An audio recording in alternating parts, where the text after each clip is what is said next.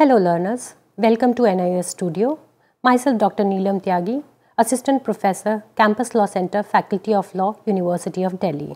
Today we are going to discuss the second part of lesson number 15 which is derived from your senior secondary course on Introduction to Law. So we will be discussing today the alternative dispute resolution part 2. In the first part we discussed the problems which are inherent in the formal litigation system, why there is a need for ADR mechanisms, what are the salient feature of ADR mechanisms, uh, what are the various techniques of ADR a dispute resolution mechanism and what are the salient feature of each of these techniques.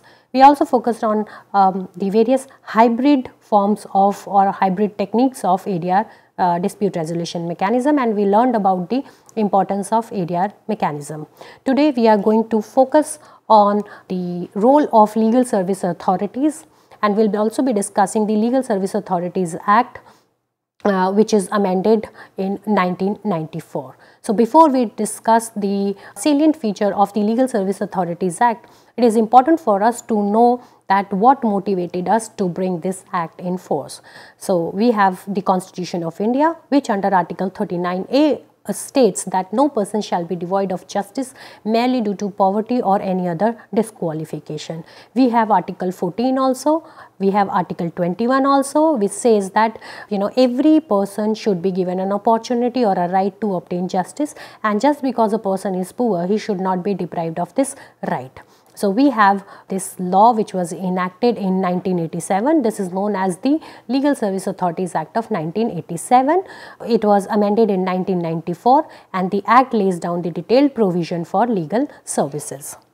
So, if you look at the salient feature of this act, it is you know creating various kind of authorities and committees under its provision. It is providing for the establishment of legal aid fund, provides for the free legal aid, states that how the Lok Adalat should be constituted and for, for what all cases the permanent Lok Adalat will be functioning which they majorly provide for the public utility services. So, we will be picking up each of these salient feature and we will be discussing that what are they all about. So, the first uh, salient feature of the uh, act is the creation of National Legal Service Authority. So, we have to look at chapter number 2 that is concerning the creation of the National Legal Service Authority. Section 3 of the Act talks about the constitution of the National Legal Service Authority. It says that the central authority shall be comprising of the Chief Justice of India who shall be the patron in chief. There will be an executive chairman, there will be few members and a member secretary. Now, what will be the function of the National Legal Service Authority?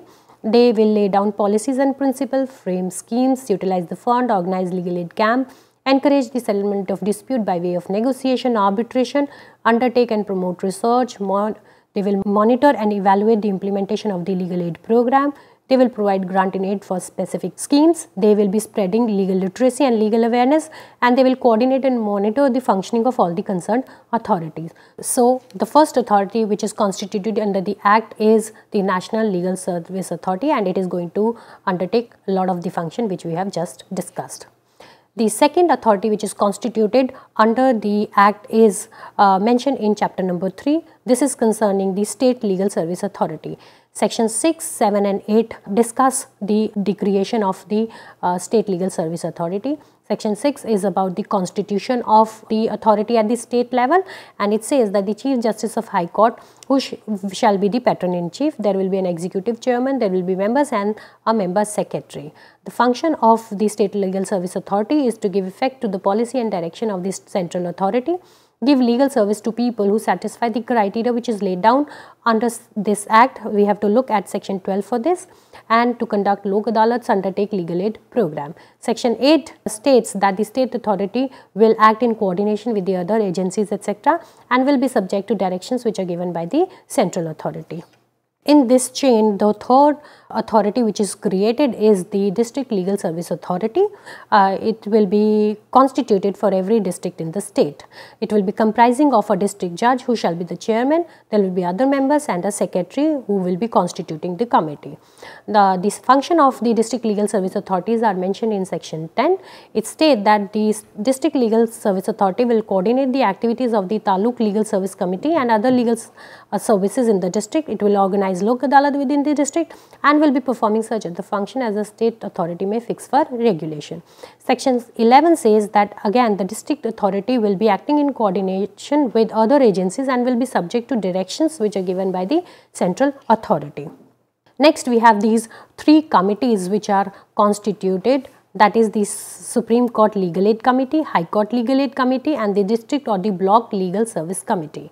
Now, section 3A discuss the creation of Supreme Court Legal Aid Committee for the organization of legal adalat, uh, legal aid to the eligible parties uh, and the presiding judge of the Supreme Court will be the chairman of the Supreme Court Legal Aid Committee. Next we have uh, the High Court Legal Aid Committee which is prescribed under section 8A and it says that the function of the High Court Legal Aid Committee will be to organize Lok Adalat, implement the legal aid and legal service program and its chairman will be the judge of the High Court. Next we have the District Block Legal Service Committee which is mentioned under section 11A and it says that the district or the block legal service committee uh, will be coordinating between the legal service related event in blocks, will be organizing Lok Adalat and will be performing such acts which are submitted to the district legal service authority from time to time. Its chairman will be the senior civil judge of the area. Next we have something called the legal aid fund which is established under section 15, 16 and 17 of the act. So we have this fund which is going to fulfill all the expenses which are incurred by the national state or district legal aid uh, authority relating to the legal aid services and the other expenses.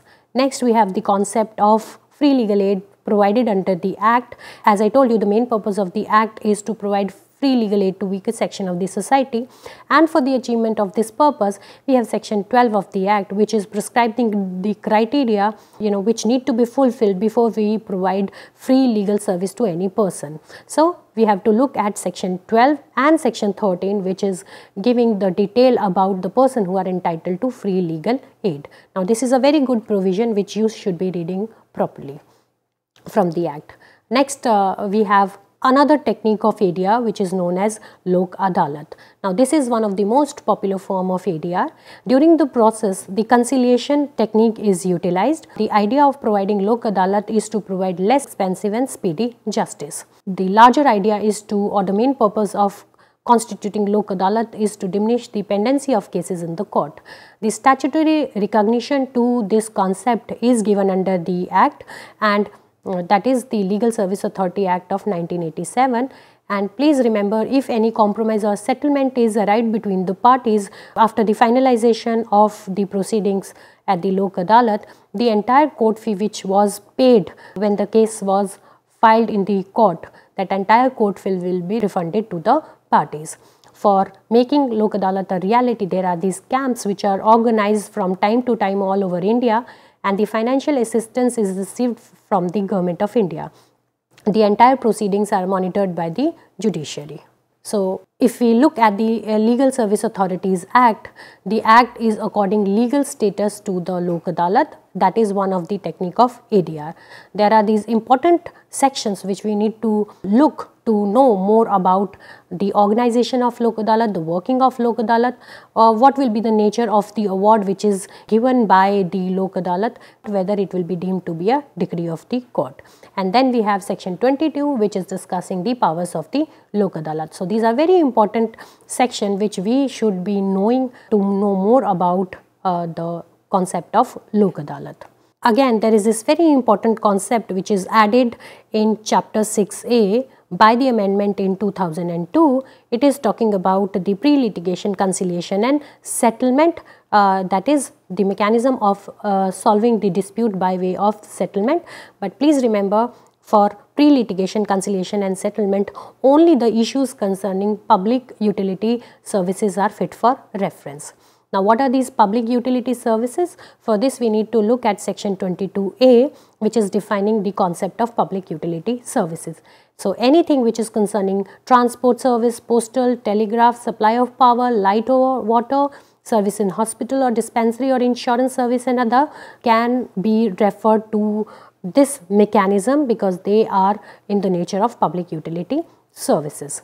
Next we have section 22b of the act which says that there should be permanent lok adalat which should be established And then we have section 22C which says that the cognizance of cases which lists down the procedure for cognizance of cases by the permanent Lok Adalat.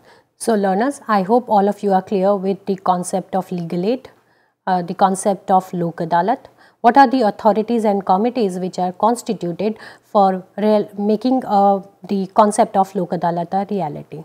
Thank you.